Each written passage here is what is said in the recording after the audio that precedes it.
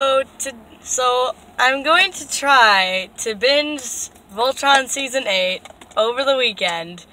Uh, and I saw the first episode this morning. It was good stuff.